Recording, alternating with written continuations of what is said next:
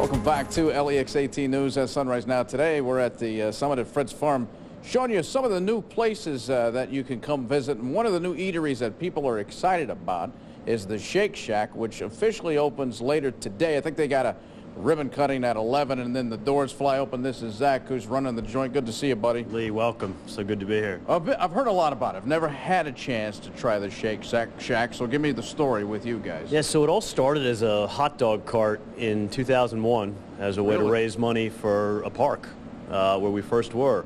Uh, we opened up a few years later with our first, literally, shack in the middle of Madison Square Park in New York, Yeah. and it's all just been magic since then. Really?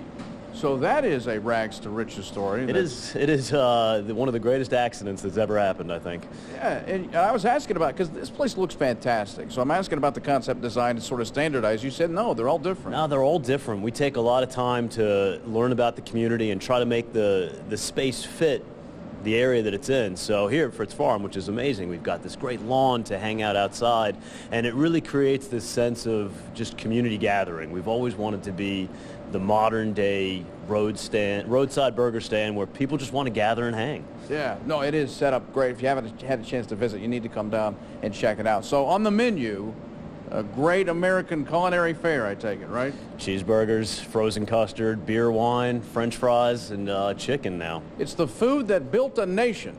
I mean, look at that stuff. That's fantastic right there. Oh, barbecue bacon cheese fries. Yeah, so we'll always Does that come with a cardiologist? Comes with a recommendation.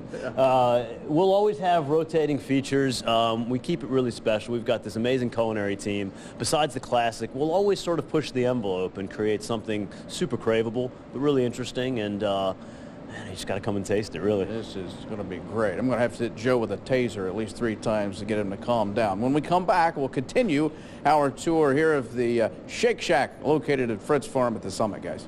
Lee, you got to try it. It's so good. You said you've never been to a Shake I Shack know I haven't, but I, I totally want to try it out. I mean, it, I know you've Hey. bought into the hype big time. I've been. I was in Chicago just about a month ago. In Chicago? Chicago. Yeah, I went to one last Chicago. and yeah, they've like got them all over month. New York. I mean, they're like the trendy in thing now. So My favorite thing they've got, not besides the burger, is their milkshake. Really? Any other milkshakes, I'm like, oh, y'all. All right, so you're taking me for a burger and milkshake. You'll find me Is there the every deal? day, honey. Okay. Any day you want to go, I'm there. I'm there.